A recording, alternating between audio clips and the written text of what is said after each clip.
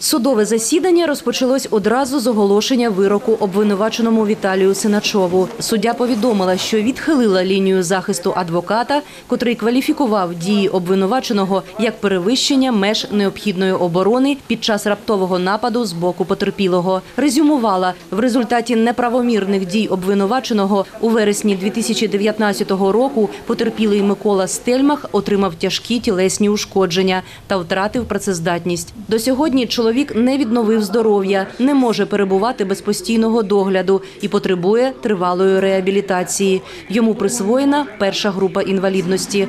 У результаті вирок – 8 років позбавлення волі. Суддя вірно розібралася і в фактичних обставинах їх кваліфікації і визначила за сукупністю цих злочинів, е, я нагадаю, умисне тяжке тілесне ушкодження і особливо злісне хуліганство із застосуванням предмету заздалегідь пристосованого для нанесення тілесних ушкоджень. За сукупністю цих злочинів визначено 8 років позбавлення волі.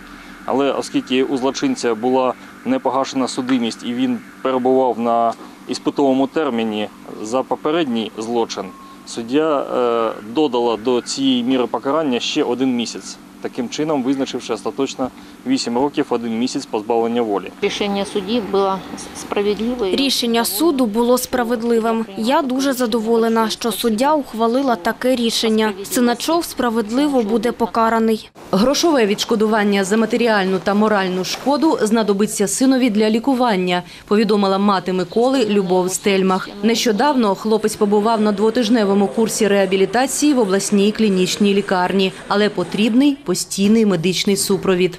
Він був повноцінний. Була повноцінна людина, повна життя. У гаражі любив машини ремонтувати. Це для нього було улюблене заняття. А зараз присісти не може. Нагнутися також. Ліва нога не піднімається. І рука німіє, і мовний апарат німіє. Потрібні заняття з логопедом.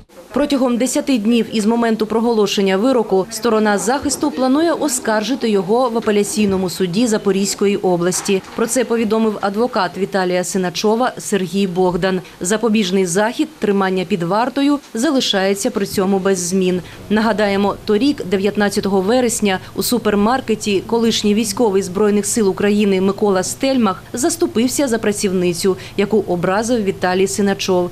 Той у відповідь кинувся збитою і наніс кілька ударів Стельмаху по голові. Нападника затримала поліція. 3 червня цього року Миколі зробили складну операцію. Медики не гарантували успішного результату. Загалом лікування коштувало травмованому близько півмільйона гривень. Ольга Ларіонова. Новини на Суспільному. Запоріжжя.